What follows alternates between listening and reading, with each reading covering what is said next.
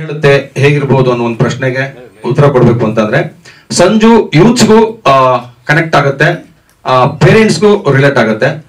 ಒಂದು ಎಲ್ಲರೂ ಅಂದ್ರೆ ಮಾಮೂಲಿ ಎಲ್ಲರೂ ಹೇಳೋ ತರ ಸಣ್ಣ ವಯಸ್ಸಿಂದ ಅರವತ್ತು ವರ್ಷದವರೆಗೂ, ಎಂಬತ್ತು ವರ್ಷದವರೆಗೂ ಕುತ್ಕೊಂಡು ನೋಡ್ಬೋದು ಅನ್ನೋ ತರದ ಒಂದು ಸಿನಿಮಾ ಏನ್ ಹೇಳ್ತೀವಿ? ಆ ತರದೊಂದು ಸಾಮಾಜಿಕ ಮೌಲ್ಯವನ್ನ ಹೇಳುವಂತಹ ಪ್ರೇಮ ಕಥಾನಕ ಅಂತ ಹೇಳ್ಬೋದು. ಬಟ್ ಲವ್ ಅನ್ನೋದು ಔಟರ್ ಫ್ರೇಮ್ ಅಲ್ಲಿ ಇರುತ್ತೆ ಇನ್ನರ್ ಫ್ರೇಮ್ ಅಲ್ಲಿ ಇರೋದಿಲ್ಲ ಮನುಷ್ಯ ಮನುಷ್ಯನ ಜೀವನದಲ್ಲಿ ಸಮಯ ಅಥವಾ ಗಳಿಗೆ ಅಂತ ಏನ್ ಹೇಳ್ತೀವಿ, ಅದು ಹೇಗೆ ಆಟ ಆಡಬಹುದು, ನಮ್ಮ ಆಲೋಚನೆಗಳು, ನಮ್ಮ ನಿರ್ಧಾರಗಳು, ನಮ್ಮ ಬದುಕನ್ನ ಹೇಗೆ ಬದಲಾಯಿಸಬಹುದು ಅನ್ನೋ ಒಂದು ಒಂದು ಸಣ್ಣ ಚೌಕಟ್ಟಿನ ಒಂದು ದೊಡ್ಡ ಮೌಲ್ಯದ ವಿಚ, ವಿಷಯಗಳನ್ನ ಇಟ್ಕೊಂಡು ಸಿನಿಮಾ ಮಾಡ್ಕೊಂಡಿದ್ದೀನಿ. ಇದನ್ನ ಒಂದು ಮಡಿಕೇರಿ, ಕೂರ್ಗು, ಆ ಒಂದು ಬಸ್ ಸ್ಟಾಂಡ್ ಅಲ್ಲಿ ನಡೆಯುವ ಕತೆ ಅಂತ ನಾನು ಮೂಲತಃ ಕಲ್ಪನೆ ಮಾಡ್ಕೊಂಡೆ. ಅದೇ ರೀತಿ ಆ ಬಸ್ ಸ್ಟಾಂಡ್ ಸುತ್ತಮುತ್ತ ಆಜು ಬಾಜು ಮತ್ತೆ ಅವರ ಬದುಕಿನ ಹಿನ್ನೆಲೆಯಲ್ಲಿ ಸಿನಿಮಾ ಕತೆ ಅರಳುತ್ತಾ ಹೋಗುತ್ತೆ. ಅದರಲ್ಲೇನೆ ಬಹಳಷ್ಟು ವಿಷಯ ಟ್ರಾವೆಲ್ ಆಗುತ್ತೆ. ಸಿನಿಮಾದಲ್ಲಿ ಹೇಳಿದಂಗೆ ಬಹಳಷ್ಟು ಪಾತ್ರಗಳು ಬರ್ತವೆ ಸತತವಾಗಿ ಕಂಟಿನ್ಯೂಸ್ ಆಗಿ. ಪ್ರತಿ ಪಾತ್ರವೂ ಕೂಡ ವಿಶೇಷವಾಗಿ ಕಾಣುತ್ತೆ ಮತ್ತೆ ಪ್ರತಿ ಪಾತ್ರದ ಹಿನ್ನೆಲೆಯಲ್ಲೂ ಕೂಡ ಒಂದು ಕತೆ ಇರುತ್ತೆ. ಸೊ ಆ ರೀತಿಯಾದ ಒಂದು ಸ್ಪೆಷಲ್ ವಿಷಯಗಳನ್ನ ನಾನು ತೋರಿಸ್ಲಿಕ್ಕೆ ಈ ಚಿತ್ರದಲ್ಲಿ ಪ್ರಯತ್ನ ಮಾಡಿದ್ದೀನಿ. ಆ, ನಾನೊಂದು ಬಸ್ ಸ್ಟಾಪ್ ಅಲ್ಲೇ ಕತೆ ಮಾಡ್ಬೇಕು ಅಂತ ಅನ್ಕೊಂಡಾಗ ಒಂದು ಒರಿಜಿನಲ್ ಬಸ್ ಸ್ಟಾಪ್ನ ಹುಡುಕ್ತಾ ಹೋದ್ವಿ. ಒಂದು ಮೂರ್ನಾಲ್ಕು ದಿನ ನಾವು ಮಡಿಕೇರಿ, ಕೂರ್ಗು, ಸುತ್ತಮುತ್ತ ಎಲ್ಲ ಬಸ್ ಸ್ಟಾಪ್ನ ಹುಡುಕ್ತಾ ಹೋದಾಗ ಶೂಟಿಂಗ್ ಅನುಕೂಲವಾಗ ತರ ರೀತಿಯ ಬಸ್ ಸ್ಟಾಪ್ಗಳು ನಮ್ಗೆ ಸಿಗ್ಲಿಲ್ಲ. ಬಸ್ ಸ್ಟಾಪ್ ಎದುರುಗಡೆ ಒಂದು ಟೀ ಅಂಗಡಿ ಸೆಟಪ್ ಬೇಕಾಗಿತ್ತು, ಆ ತರದ ಒಂದು ಸಿಗ್ಲಿಲ್ಲ. ಕಡೆಗೆ ನಾನು ಪ್ರೊಡ್ಯೂಸರ್ಗೆ ವಿನಂತಿ ಮಾಡಿದೆ, ಸರ್, ಒಂದು ಸೆಟಪ್ ಹಾಕ್ಬಿಡೋಣ ಸರ್ ಅಂತ. ಅದು ಪ್ಲಾನಿಂಗ್ ಅಲ್ಲಿ ಇರ್ಲಿಲ್ಲ ಎಷ್ಟಾಗಬಹುದು ಅಂತ. ಅವು ಕಮ್ಮಿ ಅಂದ್ರೆ ಒಂದು ಸೆಟಪ್ ಆಗ ಒಂದು ಲಕ್ಷ ಆದ್ರೂ ಬೇಕಾಗಬಹುದು ಅಂತ. ಹಾ ಹಂಗ, ಹಿಂಗ. ಮತ್ತೆ ಎದುರುಗಡೆ ಒಂದು ಟೀ ಶಾಪ್ ಇದು ಬೇಸಿಕ್ ಕಾನ್ಸೆಪ್ಟ್ ಅಲ್ಲಿ ಇರಲಿಲ್ಲ. ಬಟ್ ಸಿನಿಮಾ ಕಂಟೆಂಟ್ ಅನ್ನ ಅವರು ಪ್ರೀತಿಸೋ ಪ್ರೊಡ್ಯೂಸರ್ ಸಿಕ್ಕಿರೋದ್ರಿಂದ ಇಮಿಡಿಯೇಟ್ ಆಗಿ ಒಂದು ಸ್ಪಾಟ್ ಅಲ್ಲಿ ನಿಂತಿದ್ರಿ. ಮೂರ್ನಾಡು ಅನ್ನೋ ಒಂದು ಪ್ರದೇಶ. ಆ ದೃಶ್ಯ ಟೂ ದೃಶ್ಯ ಚಿತ್ರ ಕೂಡ ಅಲ್ಲೇ ಸೆಟ್ ಹಾಕಿದ್ರು ಅಂತ ನಮ್ಗೆ ಅಲ್ಲಿ ಹೋದಾಗ ಗೊತ್ತಾಯ್ತು. ಆ ಸ್ಥಳದಲ್ಲೇ ಸೆಟ್ ಹಾಕ್ಲಿಕ್ಕೆ ನಾವು ಪ್ಲಾನ್ ಮಾಡಿದ್ವಿ. ಸಾದಿಕ್ ಅನ್ನುವ ಆ ಡೈರೆಕ್ಟರ್ನ ಕರೆಸಿ ಸೆಟ್ ಡೈರೆಕ್ಟರ್ನ ಅಲ್ಲೇ ಒಂದು ಇದಾಗ್ತಾ ಇದ್ವಿ. ಮೂರ್ನಾಡಲ್ಲಿ ಬಸ್ ಸ್ಟಾಪ್ ಮತ್ತೆ ಟೀ ಶಾಪಿನ ಸೆಟಪ್ ಹಾಕ್ತಾ ಇದೀವಿ ಅಲ್ಲಿ ಶೂಟ್ ಮಾಡ್ತಾ ಇದ್ವಿ ಸಿನಿಮಾ ನಿಮ್ಗೆ ಒಟ್ಟಾರೆ ಒಂದು ಹಸಿರಿನ ವಾತಾವರಣದಲ್ಲೇ ಇರುತ್ತೆ. ಎಲ್ಲ ದೃಶ್ಯಗಳು ಆರಂಭದಿಂದ ಅಂತ್ಯದವರೆಗೂ. ಪಯಣಿಗ ಅಂತ ಏನ್ ಹೇಳ್ತೀವಿ ಆಡಿಯನ್ಸ್ ಕೂಡ ಒಂದು, ಆ, ನೇಚರದ, ನೇಸರದ ಒಂದು ಪ್ರಯಾಣ ಮಾಡಬಹುದು ಸಿನಿಮಾ ನೋಡ್ತಾ ನೋಡ್ತಾ. ಅದಕ್ಕೋಸ್ಕರನೇ ನಮ್ಮ ನಾಗೇಶ್ ಅವ್ರಿಗೆ ವಿಶೇಷವಾಗಿ ಹೇಳಿದೀನಿ ಸಿನಿಮಾದ ಪ್ರತಿ ಫ್ರೇಮು ಬೇರೆ ರೀತಿಯಾಗಿರ್ಬೇಕು, ಬೇರೆ ರೀತಿಯಾಗಿ ಕಾಣಿಸ್ಬೇಕು, ಆ ಮೂಲಕ ನಾವು ಗೆಲ್ಲಬೇಕು ಅನ್ನೋ ನಿಟ್ಟಲ್ಲಿ ಬಹಳಷ್ಟು ಪೂರ್ವ ತಯಾರಿಗಳನ್ನ ಮಾಡ್ಕೊಂಡಿದೀವಿ ಎಲ್ಲ ಹೇಳ್ದೆ ಅನ್ಕೋತೀನಿ ಯಾರೋ ಅಮ್ಮ ಚಪ್ಪಾಳೆ ತೊಟ್ಬಿಟ್ರು ನಾಗೇಶ್ವರ ಅಮ್ಮ ಸಾಕಪ್ಪ ಇಷ್ಟೊಂದು ಹೇಳ್ತೇನೆ ನೀನು ಅಂತ. ನಿಮ್ಗೇನಾದ್ರು ಪ್ರಶ್ನೆಗಳಿದ್ರೆ ನಾನು ಉತ್ತರ ಕೊಡ್ತೀನಿ. ನಾನು. ವ- ರಾಜ್ಕುಮಾರ್ ಸಿನಿಮಾಗಳನ್ನ ನೋಡ್ಕೊಂಡ್ ಬಂದವರು. ರಾಜ್ಕುಮಾರ್ ಸಿನಿಮಾಗಳಲ್ಲಿ ವೈಯಕ್ತಿಕವಾದ ಗ್ಲೋರಿಫಿಕೇಶನ್ಸ್ ಇರೋದಿಲ್ಲ ಸಿನಿಮಾಗಳಲ್ಲಿ. ಅದೇ ಸತ್ಯ ಅದೇ ಪರಮ ಅಂತ ನಂಬ್ಕೊಂಡ್ ಬಂದವರು. ಮತ್ತೆ ಇತ್ತೀಚೆಗೆ ತುಂಬಾ ಗ್ಲೋರಿಫಿಕೇಶನ್ಸ್ ಇರ್ತವೆ. ನಾಯಕ ಅಂತ ಅಂದ್ರೆ ಅವನು ಅವನ ಹಿಂದಗಡೆ ಒಂದು ವೆಲ್ಡಿಂಗ್ ಶಾಪ್ ಇರಬೇಕು ಅವನ ಹಿಂದಗಡೆ ಒಂದು ಲೈಟ್ ಶಾಪ್ ಇರಬೇಕು ಆ ತರದ್ದು. ನಂದೊಂದು ಬೇಸಿಕ್ ಕ್ಯಾರೆಕ್ಟರೇಷನ್ ಬಂದು ನಾವು ನೀವು ಹೇಗಿದ್ದೀವಿ ಸಹಜವಾಗಿ ನಮ್ಮ ಬದುಕಲ್ಲಿ ಹೇಗೆ ರಿಯಾಕ್ಷನ್ ರಿಯಾಕ್ಟ್ ಮಾಡ್ತೀವಿ ರಿಯಾಕ್ಷನ್ಸ್ಗಳು ಇರ್ತವೆ ಆ ತರದ್ದೇ ಒಂದು ಪಾತ್ರದ ಪ್ರತಿನಿಧಿಯಾಗಿ ಸಂಜು ಕಾಣಿಸ್ಕೊಳ್ತಾನೆ. ಅವನ ಬದುಕಲ್ಲೂ ಏರಿಳಿತಗಳಿದೆ. ಅವನಿಗೆ ಒಬ್ಬ ತಾಯಿ ಇದ್ದಾಳೆ ಆಕೆ ಸ್ಕೂಲ್ ಟೀಚರು ಪ್ರಯಾಣಿಕ ಅಂದ್ರೆ ಪ್ರಯಾಣ ಜಾಸ್ತಿ ಇರುತ್ತೆ ಪ್ರಯಾಣ ಅನ್ನೋದು ಬದುಕಿನ ಪ್ರಯಾಣ ಕೂಡ ಆಗ್ಬೋದು. ಅದ ಆ- ಕ್ಷಣದ ಪ್ರಯಾಣ ಕೂಡ ಆಗ್ಬೋದು. ಅಥವಾ ಪ್ರವಾಸಿಗನ ಪ್ರಯಾಣ ಕೂಡ ಆಗ್ಬೋದು. ಆ ಮೂರು ಕೂಡ ಒಳಗೊಂಡಂತಹ ಪಯಣಿಗ ಅಂತ ಹೇಳ್ತೇನೆ. ಆ ರೀತಿಯ ಪಯಣಿಗ. ಅಷ್ಟೇ ಹೇಳಿದ್ದು. ಅಲ್ಲ ಕತೆ ಪೂರ್ತಿ ನಾವೆಲ್ಲ ಕೇಳಿದ್ವಿ. ಪಯಣಿಗ ಅಂದ್ರೆ ಏನಂತ ಕೇಳಿದ್ದಷ್ಟೇ. ಸೊ ಮೂರ್ನಾಡು ಸುತ್ತಮುತ್ತ ಸತತವಾಗಿ ಒಂದು ತರ್ಟಿ ತರ್ಟಿ ಫೈವ್ ಡೇಸಿನ ಸ್ಕೆಡ್ಯೂಲ್ ಹಾಕೊಂಡಿದ್ದೀವಿ. ಅಲ್ಲೇ ಶೂಟ್ ಮಾಡಿ ಅಲ್ಲೇ ಪೂಜೆ ಮಾಡಿ ಅಲ್ಲೇ ಆ, ಕುಂಬಳಕಾಯಿ ಹೊಡೆದು ಮುಗಿಸ್ಕೊಂಡ್ ಬರ್ಬೇಕು ಅಂತ. ಅದಕ್ಕೆ ನಿಮಗೆಲ್ಲ ಗೊತ್ತು ಪ್ರೊಡ್ಯೂಸರ್ಗಳ ಪ್ರಾಬ್ಲಮ್ ಏನಿರುತ್ತೆ ಅಂತ. ಬಟ್ ನನ್ನ ಅದೃಷ್ಟ ಏನು ಅಂತಂದ್ರೆ, ನಮ್ಮ ಏನ್ ದಿಶಾ ಎಂಟರ್ಪ್ರೈಸಸ್ ಸಂತೋಷ್ ಆಗ್ಬೋದು, ಅನಿಲ್ ಆಗ್ಬೋದು, ಪ್ರದೀಪ್ ಆಗ್ಬೋದು, ಅವರ ಟೋಟಲ್ ಪ್ರೊಡಕ್ಷನ್ ಟೀಮ್ ಇದೆ, ಸೂರಜ್ ಆಗ್ಬೋದು ನಮ್ಮ ಶೈಲೇಶ್ ಅಣ್ಣ ಇಲ್ಲಿ ಅಲ್ಲಿದ್ದಾರೆ. ಪ್ರತಿಯೊಬ್ರು ಒಂದು ಹತ್ತು ಜನ ನಿಂತಿದ್ದಾರೆ ಪ್ರೊಡಕ್ಷನ್ ಹಿಂದಗಡೆ. ಅವ್ರು ಒಬ್ರು ಇರಲ್ಲ. ಸೊ ಏನೇ ಆಯ್ತು ಅಂದ್ರೆ ಟಕ್ ಟಕ್ ಟಕ್ ಟಕ್ ಅಂತ ಒಂದು ವ್ಯವಸ್ಥೆ ಮಾಡೋದ್ರದ್ದು ಟೀಮ್ ಸಿಕ್ಕಿರೋದು ನನ್ನ ಪುಣ್ಯ ಅಂತ ನಾನು ಅನ್ಕೋತೀನಿ. ಅವ್ರಿಗೆ ನಾನು ವೀಕ್ಷಣದಲ್ಲಿ ಕ್ಷಣದಲ್ಲಿ ನಾನು ಇಲ್ಲಿಂದಾನೆ ಎಲ್ಲರಿಗೂ ಧನ್ಯವಾದ ಸಲ್ಲಿಸ್ತೇನೆ. ಚಿತ್ರದ ಮಾಹಿತಿ ನನ್ನ ಕಡೆಯಿಂದ ಇದಿಷ್ಟು ಅನ್ಕೋತೀನಿ. ಏನಾದ್ರು ಪ್ರಶ್ನೆಗಳಿದ್ರೆ ನಾನು ಉತ್ತರ ಕೊಡ್ತೀನಿ. ಅದೇ ಲವ್ ಸ್ಟೋರಿ ಸೇರ್ಕೊಂಡಿದ್ಯಾ ಅಂತ? Love story sir. ಅದ್- ನಿರ್ದೇಶನ ಈಗ್ಲ ಈಗ ನೀವುಗಳು ಏನ್ ಕೇಳೋದು ಕತೆ ಹೇಳಿಬಿಡಿ ಅಂತ ಹೇಳಿದ್ದಾರೆ ಕ್ಯಾಮ್ರಾಮನ್ ನಾಗೇಶ್ ಅವರು. ನೋಡಿ ಯಾರು ನಿರ್ದೇಶಕ ಅಂತ ಡೌಟ್ ಆಯ್ತು. ಅದ್- ಅದಿರುತ್ತೆ. ತಂಡದ ಒಬ್ರಿಗೊಬ್ರು ಸಪೋರ್ಟಿವ್ ಆಗಿ ಹಾಗೆ ಹೀಗೆ ಕಾಲ ಹಿಡ್ಕೊಂಡು ಅಥವಾ ಹೆಚ್ಚಿಸ್ಕೊಂಡು ಹೋಗುವಂತದ್ದು ಇಲ್ಲ ಕತೆ ಬಿಟ್ಕೊಟ್ಟೆ ಎಲ್ಲ ಒಬ್ಬ ಬಂದ್ಬಿಡುತ್ತೆ ಅನ್ನೋದು ಭ್ರಮೆ ಅದು. ಹರೀಶ್ ಸರ್ ಕೇಳಿದ್ಕೆ ಕತೆ ಚಿತ್ರಕಥೆ ಸಂಭಾಷಣೆ ಮತ್ತೆ ನಿರ್ದೇಶನ ನಾಲ್ಕರ ಹೊಣೆಯನ್ನ ನಾನು ಹೊತ್ಕೊಂಡಿದ್ದೀನಿ.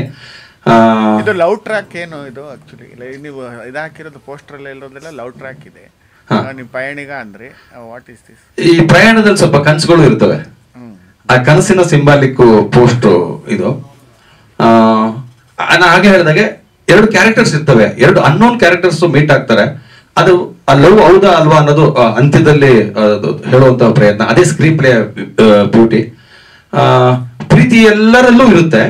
ಆ ಪ್ರೀತಿ ಸಿಗುವ ಕ್ಷಣದಕ್ಕಾಗಿ ನಾವೆಲ್ಲ ಕಾಯ್ತಾ ಇರ್ತೀವಿ. ಆ ಕ್ಷಣ ಸಿಕ್ಕಾಗ ಏನಾಗುತ್ತೆ ಏನಾಗ್ಬಹುದು ಏನ್ ಅನುಭವಿಸ್ತೀವಿ ಅನ್ನೋದ್ರೆ ಸಂಜು ಮೂಲಕ ಹೇಳಕೊಟ್ಟಿದ್ದೀವಿ. ಆಮೇಲೆ ಎಲ್ಲರೂ ಕೇಳ್ತಾ ಈಗ ಸಂಜು ಮತ್ತು ಗೀತಾ ಅಂತ ಒಂದು ಸಿನಿಮಾ ಬರ್ತಾ ಇದೆ. ನಮ್ದು ಸಂಜು, ನಮ್ಮ ಸಿನಿಮಾದಲ್ಲೂ ನಾಯಕಿಗೆ ಗೀತಾನೇ ಇಟ್ಬಿಡುವ, ಈ ತರದೆಲ್ಲ ಚರ್ಚೆ ಆಯ್ತು. ಇಲ್ಲ, ಸಂಜು ಅನ್ನೋದು ಒಂದು ಮುದ್ದಾದ ಟೈಟ್ಲ್ ಇತ್ತು, ಅದು ಆಪ್ಟ್ ಆಗಿತ್ತು ಅಂತ ಆಯ್ಕೆ ಮಾಡ್ಕೊಂಡ್ವಿ. ಆಮೇಲೆ ಇದ್ಯಾವುದೋ ಯಾವ್ದೋ ಮೊನ್ನೆ ಸಿನಿಮಾ ಮತ್ತೆ ಒಂದು ಹೊಸದು ಸೆಟ್ ಇತ್ತು ಇಲ್ಲಿ ನಮ್ದು ಬರೀ ಸಂಜು ಬಟ್ ನಮ್ ಸಿನಿಮಾದಲ್ಲಿ ನಾವು ಗೀತಾನ ತರ್ತಾ ಇಲ್ಲ ಸರಸ್ವತಿನ ತರ್ತಾ ಇದೀವಿ ನಮ್ದು ಸರಸುವಾಗಿ ಕಾಣಿಸ್ತಾ ಇರ್ತಾಳೆ ಆ, ತರದೊಂದು ಸಣ್ಣ ಬದಲಾವಣೆ ಅದು ಮಾಡ್ಬೋದು. ಸಂಜು ಮತ್ತು ಸರಸು ಅಂತೆ. ಸರ್ ಥ್ಯಾಂಕ್ ಯು ವಿಜಯ್ ಅವರೇ. ನಾನು ಈ ವರ್ಷ ಲಾಸ್ಟ್ ಫಸ್ಟ್ ಶುರು ಮಾಡಿದ್ದು ಕೆಲವ್ರಿಗೆ ಮಾಹಿತಿ ಗೊತ್ತಿರ್ಬೋದು ಇಲ್ಲಿ ನಾನು ಶೇರ್ ಮಾಡ್ಕೊಂಡ್ಬಿಡ್ತೀನಿ. ಸೀತಮ್ಮನ ಮಗ ಬಂದು ಒಂದು ಮಕ್ಕಳ ಸಿನಿಮಾ ರೀತಿಯಲ್ಲಿ ಮಾಡಿದ್ದೆ. ಆ, ಅದು ರಿಲೀಸ್ ಆಯ್ತು last one and half month ಮುಂಚೆ. ಅದಾದ್ಮೇಲೆ ನಾನು ಮಾಯಾಮೃಗ ಸಿನಿಮಾ ಮಾಡಿದ್ದೆ ಅದೊಂದು ಕಿಡ್ನಾಪ್ ಬೇಸ್ಡ್ ಏಜ್ ಡಿಫರೆನ್ಸ್ನ ಕಾನ್ಸೆಪ್ಟ್ ಕಂಟೆಂಟ್ ಇಟ್ಕೊಂಡು ಮಾಡ್ಕೊಂಡಿದ್ದೆ. ಅದು ನಾನೇ ಪ್ಲೇ ಮಾಡಿದ್ದೆ. ಅದು ಇನ್ನೊಂದು ಒಂದು ಒಂದೂವರೆ ತಿಂಗಳಲ್ಲಿ ಸೆನ್ಸರ್ ಆಗುತ್ತೆ ಮೋಸ್ಟ್ಲಿ ಡಿಸೆಂಬರ್ ಒಳಗಡೆ ಅಂತ. ಬೊಂಬೆ ಹೇಳುತ್ತೈತೆ ಒಬ್ಬನೇ ಆಕ್ಟರ್ ಆಕ್ಟ್ ಮಾಡಿ ನಿರ್ದೇಶನ ಮಾಡಿದಂತಹ ಪ್ರಯತ್ನ ಆಗಿತ್ತು. ಅದು ಕೂಡ ಇನ್ನೊಂದು ಟ್ವೆಂಟಿ ಡೇಸ್ ಅಲ್ಲಿ ಕಾಪಿ ಬರುತ್ತೆ. ಅಲ್ಲೆಲ್ಲೂ ಹಾಡುಗಳಿತ್ತು ಕಮರ್ಷಿಯಲ್ ಟಚ್ ಕೊಟ್ಟಿರಲಿಲ್ಲ ಫೈಟ್ಸ್ ಹೊತ್ತು ಇರಲೇ ಇಲ್ಲ. The story way of telling ಅಂತ ಹೇಳ್ತೀವಿ ಪ್ರತಿ ಕಂಟ ಕಥೆಗಳನ್ನ ಹೇಳ್ಬೇಕಾದ್ರೆ. ಅಲ್ಲಿ ಸ್ವಲ್ಪ ಸೀರಿಯಸ್ ಮೂಡ್ ಆಫ್ ಇರ್ತಿತ್ತು. ಇಲ್ಲಿ ಸ್ವಲ್ಪ ಕಮರ್ಷಿಯಲ್ ಮೂಡ್ ಅಂದ್ರೆ ನಮ್ಮ ಶಾರ್ಟ್ಸ್ ವೈಸ್ ಆಗ್ಬೋದು ಲೈಟಿಂಗ್ ವೈಸ್ ಆಗ್ಬೋದು ಸ್ಟೋರಿ ಟೆಲ್ಲಿಂಗ್ ಆಗ್ಬೋದು, ಆಮೇಲೆ ಇಲ್ಲಿ ಕಾಮಿಡಿ ಟ್ರ್ಯಾಕ್ ಅಂತ ಕಾಮಿಡಿ ಟ್ರ್ಯಾಕ್ ಅಂತಲ್ಲ ಕಾಮಿಡಿ ಕ್ಯಾರೆಕ್ಟರ್ಸ್ ಆಗ್ಬೋದು. ಸ್ಟೋರಿ ಟೆಲ್ಲಿಂಗ್ ಅಲ್ಲಿ ಸ್ವಲ್ಪ ಜನಸಾಮಾನ್ಯರಿಗೆ ಹತ್ತಿರವಾಗುವ ವಿಷಯಗಳು, ಅಥವಾ ನಾವೇನ್ ಕಮರ್ಷಿಯಲ್ ಅಂತ ಹೇಳ್ತೀವಿ, ಆ ತರದ ವಿಷಯಗಳು ಹೆಚ್ಚಾಗಿ ಸಜ್ಜು ಸಂಜುವಲ್ಲಿ ಇರುತ್ತೆ. ಎರಡು ಹಾಡಿದೆ ಎರಡು ಫೈಟ್ ಇದೆ. ಎರಡು ಫೈಟ್ ಅನ್ನ ತುಂಬಾ ಜೋರಾಗೆ ಮಾಡ್ಬೇಕು ಅಂತ ಹೇಳಿ ಒಂದು ಪ್ಲಾನ್ ಮಾಡ್ಕೊಂಡಿದ್ವಿ ಎರಡು ಅಲ್ಲೇ ನಡೆಯುತ್ತೆ. ಸೊ ಈ ತರದ ನಿಟ್ಟಲ್ಲಿ ಆಮೇಲೆ ಜನಸಾಮಾನ್ಯರ ಹತ್ತಿರದ ಕಥೆ ಆಗಿರೋದ್ರಿಂದ ನಾನು ಇದನ್ನ ಕಮರ್ಷಿಯಲ್ ಅಂತಾನೆ ಹೇಳಕ್ಕೆ ಬಯಸ್ತೀನಿ. ಎಕ್ಸ್ಪೆಕ್ಟೆಡ್ ಕಂಟೆಂಟ್ಗಳು ಇರ್ತವೆ ಅಂತ ಹೇಳ್ಬೋದು ಕಮರ್ಷಿಯಲ್ ನಿಮ್ದು ಸರಿ. ಹೀರೋ ಹೀರೋಯಿನ್ ಕ್ಯಾರೆಕ್ಟರ್ ಈಕ್ವಲ್ ಆಗಿ ಟ್ರಾವೆಲ್ ಆಗುತ್ತೆ. ಆ, ಅದ್ರಲ್ಲಿ ಒಂದು ಒಂದು ಒಂದು ಭಾಗವಾಗಿ ನೆಕ್ಸ್ಟ್ ಲೆವೆಲ್ ಅಲ್ಲಿ ಇರುವಂತ ಪಾತ್ರ. ಈಗ ಸುಮ್ಮನೆ ನಿಮ್ಗೆ ಕೇಳಿದ್ ಕೇಳ್ಬೇಕು ಅಂತಂದ್ರೆ ಒಂದು ಟೀ ಅಂಗಡಿ ಓನರ್ ಕ್ಯಾರೆಕ್ಟರ್ ಮಾಡ್ತಾ ಇದ್ದ. ನನ್ನ ವೈಫ್ ಕ್ಯಾರೆಕ್ಟರ್ನ ಅಪೂರ್ವ ಮಾಡ್ತಿದ್ದಾರೆ. ಆ ಥರದ ಒಂದು ಬೇರೆ ಟ್ರ್ಯಾಕ್ ಇನ್ನ ಒಂದು ಕ್ಯಾರೆಕ್ಟರ್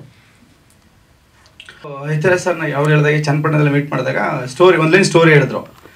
ಸ್ಟೋರಿ ಹೇಳ್ತೇನೆ ಹೇಳಿದೆ, ಸರ್, ನಾನು ಒಂದು ಮೂವಿ ಮಾಡಿದ್ದೀನಿ, ಇದು ಸೆಕೆಂಡ್ ಮೂವಿ ಒಬ್ಬರು ಸ್ಟಾರ್ ಮಾಡೋ ಅಂಥ ಮೂವಿನ ನನಗೆ ಹೇಳ್ತಾ ಇದ್ದಾರಲ್ಲ ಸರ್ ಅಂತಂದರು. ಅದಕ್ಕೆ ಸ್ಟಾರ್ ಅಲ್ಲ, ಅಪ್ಪ ನಿಮಗೆ ಪರ್ಫಾರ್ಮ್ ಮಾಡೋಕ್ಕೆ ಒಂದು ಒಳ್ಳೆ ಪ್ಲಾಟ್ಫಾರ್ಮ್ ಇದೆ. ಲೈಕ್ ಅಂದರೆ ಆಕ್ಷನ್ ಇರ್ಬೋದು ಲವ್ ಎಲಿಮೆಂಟ್ಸ್ ಇರ್ಬೋದು ಎಮೋಷನ್ಸ್ ಇರ್ಬೋದು. ಸೊ ಎಲ್ಲರಿಂದ ಒಂದು ನಿಮಗೆ ಬೆಸ್ಟ್ ಒಂದು ಪ್ಲಾಟ್ಫಾರ್ಮ್ ಇದೆ ಪರ್ಫಾರ್ಮ್ ಮಾಡೋಕ್ಕೆ ಅಂತ ಹೇಳಿದ್ರು. ಸೊ ಅದೇ ಥರ ನನಗೆ ಸಪೋರ್ಟ್ ಮಾಡ್ತಾ ಇದ್ದಾರೆ ಅದೇ ರೀತಿ ನಾನು ಪ್ಲಾನಿಂಗ್ ಮಾಡ್ತಾ ಇದ್ದೀನಿ. ಸೊ ಸಂಜು ಮೂಲಕ ಏನೋ ಒಂದು ಸಕ್ಸಸ್ ಸಿಗಬೇಕು ಒಂದು ಬೆಸ್ಟ್ ಪರ್ಫಾರ್ಮೆನ್ಸ್ ಕೊಡಬೇಕು ಅಂತ ಮಾಡ್ತಾ ಇದ್ದೀನಿ ಸರ್. ಸಂಜು ಎರಡನೇ ಮೂವಿ ಈ ಪ್ರಿಪ್ರೇಷನ್ ಎಲ್ಲ ಹೇಗಿದೆ? ಯಾಕೆ ಇತರ ಜೊತೆ ಕೆಲಸ ಮಾಡ್ತಾ ಇದ್ದೀರಾ? ಒಂದಷ್ಟು ತಯಾರಿಗಳು ಬೇಕಾಗುತ್ತೆ. ತಯಾರಿಗಳು ನಡೀತಾ ಇದೆ ಸರ್. ತಯಾರಿಗಳು ನಡೀತಾ ಇದೆ. ವರ್ಕ್ಶಾಪ್ ರಿಹರ್ಸಲ್ ಎಲ್ಲ ಮಾಡ್ತಾ ಇದ್ದೀವಿ. ಅದಕ್ಕೆ ಏನು ಬೇಕು ಪ್ರೀ ಪ್ಲಾನಲ್ಲಿ ಎಲ್ಲ ಮಾಡ್ತಾ ಇದ್ದೀವಿ ಬೇಸಿಕ್ ಆಗಿ ನೀವು ರಂಗ ಕಲಾವಿದ ಈಗ ಪ್ರೂವ್ ಮಾಡಿದ್ರೆ ಅಲ್ವಾ? ಈಗ ಅಹಲ್ಯದು ಏನೋ ಒಂದು ಒಂದು ಚೂರು ಮಾಡಿದ್ರಿ. ಅದೇ ಕಂಚು ಕನ್ನಡ ಅಂತ ಒಂದು ಡ್ರಾಮಾ ಗೌತಮನ್ ಕ್ಯಾರೆಕ್ಟರ್ ಮಾಡಿದ್ದೆ. ಸೊ ಇರುತ್ತೆ ಕನ್ಸ್ಗಳಿರುತ್ತೆ ನನಗೆ ಯಾವಾಗ್ಲೂ ಒಂದು ಡೈರೆಕ್ಟರ್ ಕೆಳಗಡೆ ಕೆಲಸ ಮಾಡೋಕೆ ಇಷ್ಟ. ಆ್ಯಂಡ್ ಕತೆ ಕೇಳಿದಾಗ ಸರ್ ಹೇಳ್ದಂಗೆ ನಾನು ಹೋದಾಗ ಕತೆ ಕೇಳಿದ ತಕ್ಷಣ ನನಗೆ ಅವ್ರ ಆಟಿಟ್ಯೂಡ್ ತುಂಬ ಇಷ್ಟ ಆಯಿತು. ಆ್ಯಂಡ್ ಯತಿ ಸರ್ ಆಲ್ರೆಡಿ ತುಂಬ ಎಕ್ಸ್ಪೀರಿಯನ್ಸ್ಡ್ ತುಂಬ ಸಿನಿಮಾಗಳು ಮಾಡಿದ್ದಾರೆ ಡಿರೆಕ್ಷನ್ ಮಾಡಿದ್ದಾರೆ ಆ್ಯಂಡ್ ಪ್ರೆಸ್ಸಲ್ಲಿದ್ದರು ಆ್ಯಂಡ್ ತುಂಬ ವರ್ಷದಿಂದ ನಾನು ಅವ್ರನ್ನ ನೋಡಿದ್ದೀನಿ ತುಂಬ ಖುಷಿ ಆಯಿತು ನನಗೆ. ಅವ್ರು ನನ್ನನ್ನು ಕರೆದಿ ನನ್ನನ್ನು ಸೆಲೆಕ್ಟ್ ಮಾಡಿ ನಮ್ಮ ಅಮ್ಮ ಹೇಳಿದ ತಕ್ಷಣ ತುಂಬ ಖುಷಿ ಆಯಿತು ನನಗೆ. ಬಿಕಾಸ್ ಅವರು ತುಂಬ ಜನ ನಾಯಕಿಯರು, ಪರಿಚಯ ಇರ್ತಾರೆ. ಸೊ ಅಂಥದ್ರಲ್ಲಿ ನನ್ನನ್ನೇ ಕರೆಸಿ ಮಾತಾಡಿಸಿ ನನ್ನ ಈ ಸಿನಿಮಾಗೆ ತಗೊಂಡಿರೋ ಪ್ರೊಡ್ಯೂಸರ್ಸ್ಗೆ ಡೈರೆಕ್ಟರ್ಸ್ಗೆ ನಾನು ಥ್ಯಾಂಕ್ ಯು ಸಿನಿಮಾ ಬಗ್ಗೆ ಆಲ್ರೆಡಿ ಸರ್ ಹೇಳಿದ್ದಾರೆ. ನಾನು ನನ್ನ ಕತೆ ನನ್ನ ಪಾತ್ರದ ಬಗ್ಗೆ ಹೇಳಕ್ಕೆ ಇಷ್ಟಪಡ್ತೀನಿ. ಒಂದು ಸಣ್ಣ ಮಾಹಿತಿ. ಏನು ಅಂದರೆ ಎಲ್ಲ ಸಿನಿಮಾದಲ್ಲೂ ನೀವು ನೋಡಿರೋದಕ್ಕಿಂತ ತುಂಬ ಡಿಫ್ರೆಂಟ್ ಅಂತ, ತುಂಬ ಡಿಫ್ರೆಂಟ್ ಅಂತ ನಾನು ಹೇಳಲ್ಲ. ಬಟ್ ಒಂದು ವಿಭಿನ್ನ ಪಾತ್ರ. ಯಾಕೆ ಅಂದರೆ ಮೇನ್ಲಿ ಎಂಟೈರ್ ಒಂದು ಹದಿನೈದು ಸೀನು ಸಿನಿಮಾದಲ್ಲಿ ನಂದೇನು ಮಾತುಕತೆ ಇರಲ್ಲ. ಬರೀ ಎಕ್ಸ್ಪ್ರೆಷನ್ಸ್ ಅದಕ್ಕೆ ಬೇಕಾಗಿರೋದು ಆ್ಯಕ್ಟಿಂಗ್ ಸೊ ನನ್ನ ಆ್ಯಕ್ಟಿಂಗ್ನ ಪ್ರೆಸೆಂಟ್ ಮಾಡೋಕ್ಕೆ ನಂಗೆ ಒಳ್ಳೆ ಪ್ಲ್ಯಾಟ್ಫಾರ್ಮ್ ಅಂತ ಅನಿಸ್ತು. ಆ್ಯಂಡ್ ಹದಿನೈದು ಸೀನ್ ಆದ್ಮೇಲೆ, ಆ ಹದಿನೈದು ಸೀನ್ಗಳಲ್ಲೂ ಬರೀ ನನ್ನ ಎಕ್ಸ್ಪ್ರೆಷನ್ಸ್ ಆಗಲಿ, ನನ್ನ ಹಾವ ಭಾವಗಳಾಗಲಿ, ನನ್ನ ಅಭಿನಯನೇ ಕಾಣಿಸ್ತಿರುತ್ತೆ. ಆಮೇಲೆ ಒಂದು ತುಂಬ ಸಟಲ್ ತುಂಬ ನ್ಯಾಚುರಲ್ ಆಗಿ ನಾನು ಹೆಂಗಿರ್ತೀನಿ ನಾನು ಜನರಲಿ ಹೆಂಗಿರ್ತೀನಿ, ಅದೇ ಥರ ಇರೋ ಪಾತ್ರ. ಆಮೇಲೆ ಸಿನಿಮಾದಲ್ಲಿ ಸಾಂಗ್ಸ್ ತುಂಬ ಚೆನ್ನಾಗಿದೆ ಆ್ಯಂಡ್ ಮ್ಯೂಸಿಕ್ ತುಂಬ ಚೆನ್ನಾಗಿ ಮಾಡಿದ್ದಾರೆ ಸರ್ ಆ್ಯಂಡ್ ಕೂರ್ಗಲ್ಲಿ ಶೂಟಿಂಗ್ ಮಾಡ್ತಿದ್ದೀವಿ, ಒಂದೇ ಶೆಡ್ಯೂಲಲ್ಲಿ ಶೂಟ್ ಮಾಡ್ತಿದ್ದೀವಿ. ತುಂಬ ಖುಷಿ ಇದೆ. ನಿಮ್ಮ ನಿಮ್ ಸಪೋರ್ಟ್ ನಿಮ್ಮ, ನೀವು ಯಾವಾಗಲೂ ನನ್ನ ಸಪೋರ್ಟ್ ಮಾಡಿದ್ದೀರಾ ನಿಮ್ಮ ಸಪೋರ್ಟ್ ನನ್ನ ಮೇಲೆ ಹೀಗೆ ಇರಲಿ. ಥ್ಯಾಂಕ್ ಯು ಸೊ ಮಚ್ ಇರಲಿಲ್ಲ ಸರ್ ಸಿನಿಮಾ ಮಾಡ್ತಿದ್ದೀನಿ ರಿಲೀಸ್ ಆಗಿಲ್ಲ. ಆಮೇಲೆ ಮೇನ್ಲಿ ಇವಾಗ ಮಾಡ್ಲಿಂಗ್ ಮಾಡ್ತಿದ್ದೀನಿ ಆ್ಯಡ್ಸ್ ಮಾಡ್ತಿದ್ದೀನಿ. ಏನ್ ಮಾಡೋದು, ಮಾಡಬೇಕಲ್ಲ. ಹದಿನೈದು ಸೀನ್ ಆದ್ಮೇಲೆ ಮಾತಾಡ್ತೀರಾ? ಸರ್? ಹದಿನೈದು ಸೀನ್ ಅಂದ್ರೆ ಅಷ್ಟು ಸೀನು ಮಾತುಕತೆ ಇಲ್ಲ ಸರ್. ಮುಗಿತಾರ ಆಕ್ಟ್ ಮಾಡ್ತಾ ಇದ್ದೀರಾ? ಅಂದ್ರೆ ಜಾಸ್ತಿ ಮಾತಾಡಲ್ಲ ಆ ಪಾತ್ರ. ಆ, ತುಂಬಾ ಸೈಲೆಂಟ್ ಏನೇ ಹೇಳಿದ್ರು ಒಂದ್ ಹತ್- ಒಂದ್ ಹತ್ ಲೈನ್ ಹೇಳಿದ್ರೆ ಒಂದ್ ಆನ್ಸರ್ ಹೇಳೋ ತರ ಅದನ್ನು ಎಕ್ಸ್ಪ್ರೆಷನ್ ಅಲ್ಲಿ ಹೇಳತ್ತಾರ ಹೇಳೋ ತರ ಒಂದ್ ಪಾತ್ರ ಇಲ್ಲ ಮೂವಿ ಪಾತ್ರ ಅಲ್ಲ. ಮಾತನಾಡದ ಪಾತ್ರ ಅಲ್ಲಿ ಸಲ ಕಾಣಿಸ್ಕೊಳ್ಳಿ, ಕನ್ನಡದಲ್ಲಿ ನಾಯಕಿಯರ ಕೊರತೆ ಇದೆ, ಅದನ್ನ ಶ್ರಾವ್ಯ ನೀಗಿಸ್ಲಿ ಅಂತ ನಾನು ಕೇಳ್ಕೊಳ್ತೇನೆ. ಆಗ್ಲೇ ಹೇಳಿದಾಗೆ, ನಾಗೇಶ್, ಇಲ್ಲಿ ನನಗೆ ಡೈರೆಕ್ಟ್ ಮಾಡಿ ಕತೆ ಹೇಳ್ಬೇಡಿ ಅಂತ ಹೇಳಿದವರು. ಅವರು ಮೂರು ಸಿನಿಮಾ ನನ್ನ ಜೊತೆ ಟ್ರಾವೆಲ್ ಮಾಡ್ತಾ ಇದ್ದಾರೆ ಈ ಸಿನಿಮಾ ಬಗ್ಗೆ ನಾಗೇಶ್ ಅವರು ಮಾತಾಡ್ಲಿ. ಅವ್ರದ್ದು ಒಂದೇ ಒಂದು ಪಾಯಿಂಟ್ ಹೇಳ್ಬಿಡ್ತೀನಿ.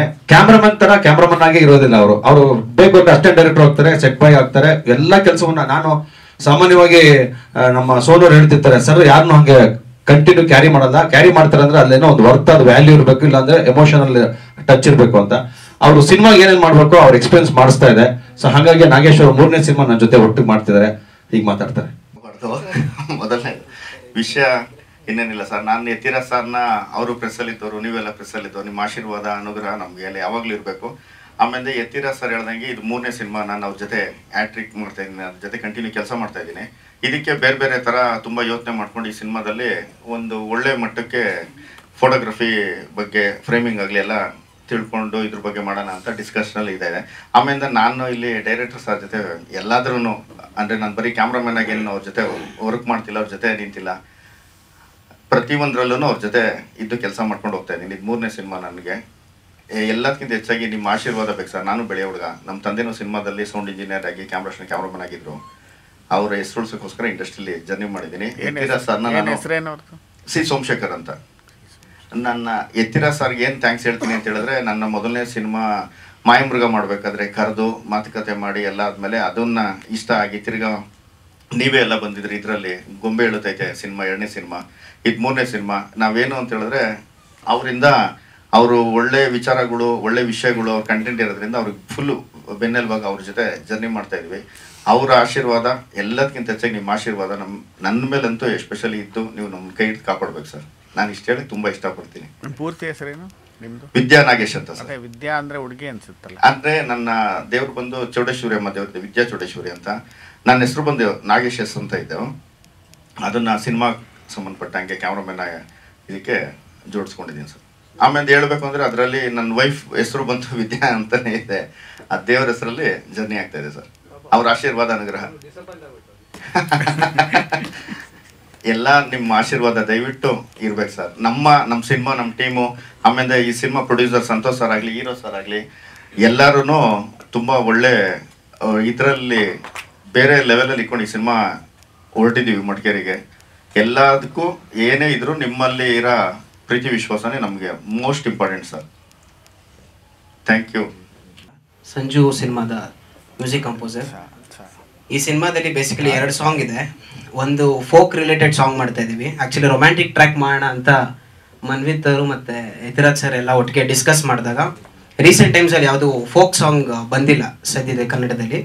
ಸೊ ಹಾಗಾಗಿ ಸ್ವಲ್ಪ ಡಿಫ್ರೆಂಟ್ ಎಲಿಮೆಂಟ್ಸ್ ಇಟ್ಕೊಂಡು ನಮ್ಮ ಫೋಕ್ ಸಾಂಗ್ ತುಂಬ ಬಂದಿದೆ. ಅಲ್ಲ ರೀಸೆಂಟ್ ಟೈಮ್ಸಲ್ಲಿ ಎಲ್ಲ ಫೋಕ್ ಇನ್ಸ್ಟ್ರೂಮೆಂಟ್ಸ್ನು ಹಾಕಿ ಬಂದಿರೋದು ಬಹುಶಃ ನನ್ನ ಕಿವಿ ನಾನು ಗೊತ್ತಿರಲಿಲ್ವೇನೋ. ಹಾಗಾಗಿ ಒಂದು ಎಕ್ಸ್ಪೆರಿಮೆಂಟ್ ಮಾಡೋಣ ಅಂತ ಒಂದು ಫೋಕ್ ಸಾಂಗ್ ಮಾಡಿದ್ದೀವಿ ಇದರಲ್ಲಿ. ಎಲ್ಲ ಅಂದ್ರೆ ಹೇಗೆ? ಆಲ್ಮೋಸ್ಟ್ ಇರೋ ಎಲ್ಲ ಇನ್ಸ್ಟ್ರೂಮೆಂಟ್ಗಳನ್ನು ಫೋಕ್ ಇನ್ಸ್ಟ್ರೂಮೆಂಟ್ಸ್ ಹಾಕಿದ್ದೀವಿ ನೀವು ತುಂಬಾ ಲೈವ್ ರೀಸೆಂಟ್ ಯಾವುದು ಇರಲಿಲ್ಲ. ಹಾಗಾಗಿ ಎಷ್ಟಾಗತ್ತೆ ನಮ್ಮ ಪ್ರೊಡಕ್ಷನ್ ಕಡೆಯಿಂದ ಎಷ್ಟು ಸಪೋರ್ಟ್ ಸಿಗುತ್ತೆ ಆದಷ್ಟು ಫೋಕ್ ಇನ್ಸ್ಟ್ರೂಮೆಂಟ್ಸ್ನ ಹಾಕಿ ಒಂದು ಸಾಂಗ್ ಮಾಡಿದ್ದೀವಿ ಒಂದು ಎಕ್ಸ್ಪೆರಿಮೆಂಟ್ ಮಾಡಿದ್ದೀವಿ ಮತ್ತೊಂದು ಆಸ್ ಯೂಶಲ್ ರೊಮ್ಯಾಂಟಿಕ್ ಟ್ರ್ಯಾಕ್ ಹೋಗುತ್ತೆ. ಯತಿರಾಜ್ ಸರ್ ಸ್ಟುಡಿಯೋಗೆ ಬಂದು ಆ್ಯಕ್ಚುಲಿ ಫಸ್ಟ್ ಆಫ್ ನರೇಟ್ ಮಾಡಿದಾಗ ಒಂದು ಚಿಕ್ಕ ಕತೆ ನಾರ್ಮಲ್ ನರೇಷನ್ ಅಂತ ಅನ್ನಿಸ್ತು. ಸೆಕೆಂಡ್ ಹಾಫ್ ನಾನು ನರೇಷನ್ ಮಾಡಿದಾಗಲೇ ಗೊತ್ತಾಗಿದ್ದು ಸ್ಕ್ರೀನ್ ಪ್ಲೇನಲ್ಲಿ ತುಂಬ ವ್ಯತ್ಯಾಸ ಇದೆ. ಆಸ್ ಯೂಶಲ್ ಈ ಚಿಕ್ಕ ಕತೆನ ಎಷ್ಟು ಚೆನ್ನಾಗಿ ನರೇಟ್ ಮಾಡಿದ್ದಾರೆ ಅಂತ. ಅವಾಗ ನಮಗೆ ಪ್ಲ್ಯಾನ್ ಬಂದಿದ್ದು ಚಿಕ್ ಚಿಕ್ಕ ಚಿಕ್ಕ ಥೀಮ್ಗಳನ್ನ ಈಗ ಯಾವ್ದು ಯೂಶಲಿ ಏನಾಗುತ್ತೆ ಆಕ್ಷನ್ ಥ್ರಿಲ್ಲರ್ಸ್ ಅಂತ ಬಂದಾಗ ಮಾತ್ರ ಒಂದೊಂದು ಚಿಕ್ಕ ಚಿಕ್ಕ ಥೀಮ್ಗಳನ್ನ ಬಿ ಜಿ ಎಂ ಆಗಿ ರಿಲೀಸ್ ಮಾಡ್ತಾರೆ. ಇವಾಗ ಆಕ್ಚುಲಿ ಬೇರೆ ಎಲ್ಲಾ ಕಡೆಯಿಂದ ನೋಡಿದಾಗ ಇವಾಗ ಹೊಸದಾಗಿ ಶುರು ಆಗಿರೋದು ಸ್ಪಾಟಿಫೈ ಅಲ್ಲಿ ಎಲ್ಲಾ ಕಡೆ ಒಂದೊಂದು ಥೀಮ್ಗಳನ್ನು ಕೂಡ ರಿಲೀಸ್ ಮಾಡ್ತಾ ಹೋಗ್ತಾ ಇದ್ದಾರೆ ನಮ್ಮ ಸಿನಿಮಾದಲ್ಲಿ ನಾವು ಅದನ್ನೇ ಪ್ಲಾನ್ ಮಾಡಿದೀವಿ ಯಾವ ಯಾವ ಮೇನ್ ಮೇನ್ ಸೀಕ್ವೆನ್ಸಸ್ ಅಲ್ಲಿ ಬಿ ಜಿ ಎಮ್ಸ್ನ ಕ್ರಿಯೇಟ್ ಮಾಡ್ತೀವಿ ಅದನ್ನೆಲ್ಲಾನು ಸ್ಪಾಟಿಫೈ ಅಲ್ಲಿ ಮತ್ತೆ ಆಪಲ್ ಟ್ಯೂನ್ ಐ ಟ್ಯೂನ್ಸ್ ಅಲ್ಲಿ ಎಲ್ಲ ಕಡೆ ರಿಲೀಸ್ ಮಾಡೋಣ ಅನ್ನೋ ಒಂದು ಪ್ಲಾನ್ ಅಲ್ಲಿ ಇದೀವಿ so each and every sequences ಅಲ್ಲೂ ಡಿಫ್ರೆಂಟ್ ಡಿಫ್ರೆಂಟ್ ಬಿ ಜಿ ಎಮ್ಸ್ನ ಪ್ಲಾನ್ ಮಾಡಿ ಅದಕ್ಕೆ ಲೈವ್ ಹೋಗಿ ಅದನ್ನ ಪ್ರೈವೇಟ್ ಆಗಿ ರಿಲೀಸ್ ಮಾಡೋ ಅನ್ನೋ ಒಂದು ಪ್ಲಾನ್ ಅಲ್ಲಿ ಇದೀವಿ ಹಾಗಾಗಿ ಸ್ವಲ್ಪ ಮ್ಯೂಸಿಕಲಿ ಕೂಡ ಡಿಫ್ರೆಂಟ್ ಪ್ರಯತ್ನ ಮಾಡೋ ಇದರಲ್ಲಿ ನೀವು ರೀಸೆಂಟ್ ಅಂತ ಹೇಳಿದ್ರಲ್ಲ ಬೆಲ್ ಬಾಟಮ್ ಸಿನಿಮಾದಲ್ಲಿ ಒಂದು ಸಾಂಗ್ ಇದೆ ಗೊತ್ತಾ ಏತಕ್ಕೆ ಅಂತ? ನಾವು ಬೇರೆ ಸಿನಿಮಾ ಕಂಪೇರ್ ಮಾಡೋದು ಬೇಡ. ಅಲ್ಲ. ನಮ್ಮ ಸಿನಿಮಾದಲ್ಲಿ ಒಂದು ಫೋಕ್ ಸಾಂಗ್ ಇಟ್ಟಿದ್ದೀವಿ. ಅಲ್ಲ ಫೋಂಗ್ಸ್ ಫೋಕ್ ಸಾಂಗ್ ಇತ್ತು ರೀಸೆಂಟ್ ಬಂದಿಲ್ಲ ಅಂದ್ರಲ್ಲ ಇದೆಯಲ್ಲ ಏನಾದ್ರು ಸಿದ್ದಯ್ಯ ಸ್ವಾಮಿ ಬನ್ನಿನ ಕನ್ವರ್ಟ್ ಮಾಡಿದಾರ ಸ್ವಲ್ಪ. ಬಹುಶಃ ರೊಮ್ಯಾಂಟಿಕ್ ಸೀನ್ ಅಲ್ಲಿ ಫೋಕ್ ಸಾಂಗ್ ಬಂದಿದೆಯಲ್ಲ ನಮಗೆ ಗೊತ್ತಿಲ್ಲ. ಬಹುಶಃ ಗೊತ್ತಿಲ್ಲ. ನೋಡ್ತೀನಿ ಸರ್. ಬಂದಿಲ್ಲ ಅಂತ. ಅಲ್ಲ ತುಂಬಾ ಬಂದಿದೆ. ರಘು ದೀಕ್ಷಿತ್ ಬಂದಿದೆ ಹಿಂದೆ ಜೋ ಇದು ಮಾದ ಮಾದೇಶ್ವರಂದು ಬೇಕಾದಷ್ಟು ಬಂದಿದೆ. ಒಂದು ಎಕ್ಸ್ಪೆರಿಮೆಂಟ್ ಮಾಡ್ತಾ ಅಲ್ಲ ಇದ್ದೀವಿ ಸರ್. ಎಕ್ಸ್ಪೆರಿಮೆಂಟ್ ಬೇಕಾದಷ್ಟಿದೆ. ನೀವು ಕೇಳಿಲ್ಲ ಅಂತ ನಮ್ದೇ ಫಸ್ಟ್ ಅನ್ಕೊಂಡ್ರೆ ತಪ್ಪು. ಇಲ್ಲ ನಾವು ಫಸ್ಟ್ ಅಂತ ಇಲ್ಲ ಸರ್. ರೀಸೆಂಟ್ ಟೈಮ್ಸ್ ಅಲ್ಲಿ ಬಹುಶಃ ನಾನು ಕಿವಿಗೆ ಬಿದ್ದಿಲ್ವೇನೋ ಅಥವಾ ನಾನು ನೋಡಿಲ್ವೇನೋ ನಾನು ಅಪ್ಡೇಟ್ ಆಗ್ತೀನಿ ನೆಕ್ಸ್ಟ್ ಇಂದ. ಸೊ ಇವಾಗ ಇರೋದ್ರಲ್ಲಿ ನಾವು ನಮ್ಮ ಸಿನಿಮಾಲ್ ಪ್ರಯತ್ನ ಬೀಳ್ತಾ ಇದೀವಿ. ಪ್ರಾಬ್ಲಿ ನೆಕ್ಸ್ಟ್ ಈ ತರ ನಂತ ಗೊತ್ತಿಲ್ದಿರೋ ನೆಕ್ಸ್ಟ್ ಯಾರನ್ನ ಬಂದ್ರೆ ಮೋಸ್ಟ್ಲಿ ತಿಳ್ಕೊತಾರ ಆ ಥರ ಅಷ್ಟೇ. ಹ್ಯಾಂಗರ್ ಅಂತ ಅಂತ ಮಾಡಿದ್ವಿ ಸಾರಿ ಮ್ಯೂಸಿಕ್ ಡೈರೆಕ್ಟರ್ ಕೆಲಸ ಮಾಡಿದ್ರೆ ಹೌದೌದು ಸುಮಾರು ಜನದ ಹತ್ರ ಪ್ರೋಗ್ರಾಮರ್ ಆಗಿ ಕೆಲಸ ಮಾಡಿದ್ದೀನಿ ಸರ್. ಮೊದಲು ನನ್ನ ಇನಿಷಿಯಲ್ ಸ್ಟೇಜಸ್ ಅಲ್ಲಿ ಸುಮಾರು ಸೀರಿಯಲ್ಗಳಿಗೆ ಮತ್ತೆ ಇದಕ್ಕೆಲ್ಲದಕ್ಕೂ ಪ್ರೋಗ್ರಾಮರ್ ಆಗಿ ಕೆಲಸ ಮಾಡ್ತಿದ್ದೆ. ಸುಮಾರು ಜನ ಆಲ್ಮೋಸ್ಟ್ ಹೇಳುವುದೆಲ್ಲ ಗೊತ್ತಿಲ್ಲ. ಇಲ್ಲ, ನಾನು ಸುರೇಂದ್ರನಾಥ್ ಅಂತ ಅನ್ಬಿಟ್ಟು ಅವ್ರ ಹತ್ರ ಮಾಡಿದ್ದೀನಿ. ಗುರುಕಿರಣ್ ಸರ್ ಹತ್ರ ಮಾಡಿದ್ದೀನಿ. ಅಜ್ನೀಶ್ ಲೋಕನಾಥ್ ಅವ್ರಿಗೆ ಸುಮಾರು ಪ್ರೋಗ್ರಾಮ್ ಮಾಡಿದ್ದೀನಿ. ಸುಮಾರು ಜನಕ್ಕೆ ಪ್ರೋಗ್ರಾಮರ್ ಆಗಿ ನಾನು ವರ್ಕ್ ಮಾಡಿದ್ದೀನಿ. ಥ್ಯಾಂಕ್ ಯು ಅವ್ರ ಮಾತ್ರ ನಾನು ಕರೆಕ್ಷನ್ ಮಾಡ್ತೀನಿ. ಫೋಕ್ ಬೇಸ್ಡ್ ಒಂದು ಲವ್ ಸಾಂಗ್ ಮಾಡ್ತಾ ಇದ್ದೀವಿ ಸಿನಿಮಾದಲ್ಲಿ. ಒಂದು ರೆಗ್ಯುಲರ್ ಮೆಲೋಡಿ ಇರುತ್ತೆ. ಅದನ್ನ ಎರಡು ಹಾಡನ್ನ ಕೊರಿಯೋಗ್ರಫಿ ಮಾಡ್ಕೊಡ್ಬೇಕು ಅಂತ ನಾನು ಅಭಿಷೇಕ್ ಅವರಲ್ಲಿ ರಿಕ್ವೆಸ್ಟ್ ಮಾಡ್ಕೊಂಡೆ. ಅವ್ರು ಇವತ್ತು ಬಂದಿದ್ದಾರೆ. ಅವ್ರಿಗೆ ವೆಲ್ಕಮ್ ಹೇಳ್ತೀನಿ. ನಮ್ಮ ಟೀಮ್ಗೆ ಜಾಯ್ನ್ ಆಗಲಿ ಅಂತ. ಇನ್ನು ನಮ್ಮ ಜೊತೆ ಡಿಸ್ಕಷನ್ಸ್ ಮತ್ತು ಆದ್ಮೇಲೆ ನೆಕ್ಸ್ಟ್ ಟೀಮ್ ನಾನು ರೀತಿಗೆ ಅವರು ಬರ್ ಮಾಡ್ಕೊಡ್ತೀನಿ. ಇನ್ನು ಒಂದು ಪೆಕ್ಯುಲರ್ ಕ್ಯಾರೆಕ್ಟರ್ ಬರುತ್ತೆ, ಒಂದು ರೋಮಿಯೋ ರಂಗ ಅಂತ. ಅದನ್ನು ಮಾಡ್ತಿರೋದು ನಮ್ಮ ಮಹಾಂತೇಶ್ ಕನ್ನಡದ ಯೋಗಿ ಬಾಬು ಮಾತಾಡ್ತಾರೆ ಈಗ. ಏತಿ sir thank you so much ಒಂದು ಒಳ್ಳೆ ಕ್ಯಾರೆಕ್ಟರ್ ಕೊಟ್ಟಿದ್ದೀರಾ. ಖಂಡಿತವಾಗ್ಲೂ ಆನೆಸ್ಟಾಗಿ ನಾನು ಏನು ಪ್ರಯತ್ನ ಮಾಡಬೇಕು, ಖಂಡಿತ ಮಾಡ್ತೀನಿ. ಇದರಲ್ಲೂ ಒಂದು ಇಂಪಾರ್ಟೆಂಟ್ ಕ್ಯಾರೆಕ್ಟ್ರು ಆ ಟ್ರಾವ್ಲಿಂಗಲ್ಲಿ ಬರೋ ಒಂದು ರೋಮಿಯೋ ರಂಗ ಅನ್ನೋ ಒಂದು ಕ್ಯಾರೆಕ್ಟರ್ ಪ್ಲೇ ಮಾಡ್ತಾ ಇದ್ದೀನಿ ಸರ್. ದಟ್ಸ್ ಇಟ್ ಎಲ್ರಿಗೂ ಒಳ್ಳೆಯದಾಗಲಿ ಆಲ್ ದಿ ಬೆಸ್ಟ್ ಸರ್? ಅದು ಸಿನಿಮಾದಲ್ಲಿ ನೋಡೋಣ ಸರ್. ಅಲ್ಲ ತುಂಬಾ ಜನರಿಗೆ ನೀವು ಮಾಡ್ತಿರ್ತೀರ ಅದಕ್ಕೆ ಅಲ್ಲ? ರೋಮಿಯೋ ರಂಗ ಅನ್ನೋ ಹೆಸರು? ಸಿಕ್ಕದವ್ರಿಗೆಲ್ಲ ಪ್ರಪೋಸ್ ಮಾಡ್ತೀರಾ ಅಂತ? ಏ, ಹಾಗೇನಿಲ್ಲ ಸರ್. ಯಾರ ಮೇಲೆ ಒಂದು ಕ್ರಶ್ ಆಗಿರುತ್ತೆ. ಸೊ ಊರಲ್ಲೆಲ್ಲ ನನಗೆ ನಾನೇ ಇಟ್ಕೊಂಡಿರೋ ನೇಮ್ ಅನ್ಕೊಳ್ಳೋಣ. ಸೊ ಅದೇ ಅವ್ನು ಹೇಳ್ದಂಗೆ ಕಾಳಾಕ ನೋಡಿ ಅವ್ನ ರೋಮಿಯೋ ರಂಗ ಅಂತ ಫ್ರೆಂಡ್ಸ್ ಎಲ್ಲ ಕರೀತಾ ಇರ್ತಾರೆ. ಈಗ ಶಂಕರ್ ಭಟ್ ಅವರು ಒಂದು ಸಣ್ಣ ಒಂದು ಇಂಪಾರ್ಟೆಂಟ್ ಕ್ಯಾರೆಕ್ಟರ್ ಮಾಡ್ತಿದ್ದಾರೆ. ಅವರು ಒಂದೆರಡು ಮಾತಾಡ. ಕನ್ನಡ ರಾಜ್ಯೋತ್ಸವದ ಹಾರ್ದಿಕ ಶುಭಾಶಯಗಳು. ಪತ್ರಕರ್ತ ಮಿತ್ರರು, ಮೀಡಿಯಾದವರು ಎಲ್ಲರೂ ಇವತ್ತು ಬಂದಿದ್ದೀರಾ?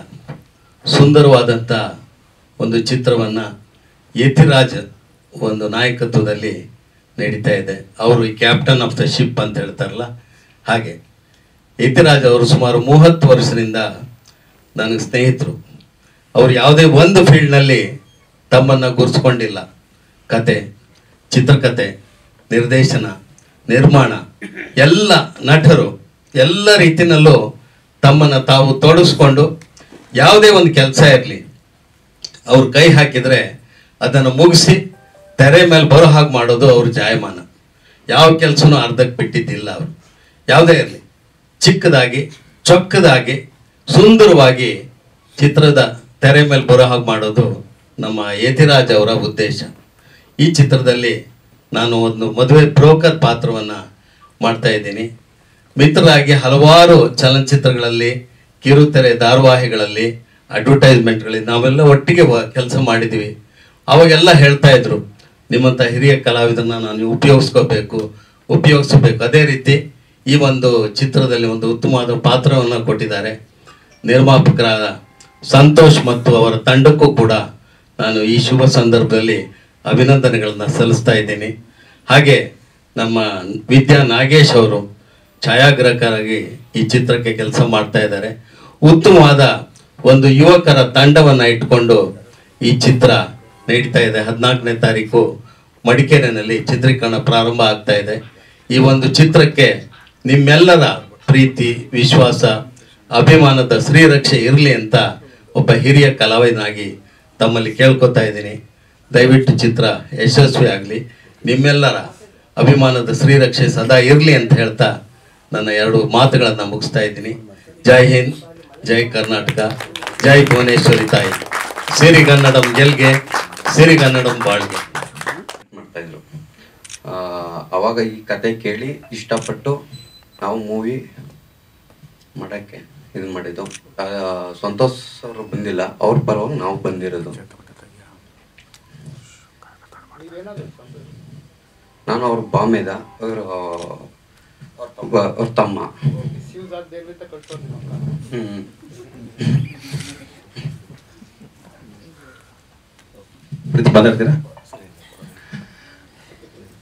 ಅಬ್ಬ, ಮನ್ವಿತ್ ಏನೋ ಬ್ಯಾಲೆನ್ಸ್ ಇದೆಯಾ? ಸರ್ ಏನಾದ್ರು ಮಾಡಿಸಿದ್ದೆ? ಮುಂಚೆ ಏನಾಯ್ತು ಅಂತ ಗೊತ್ತಿರಲ್ಲ.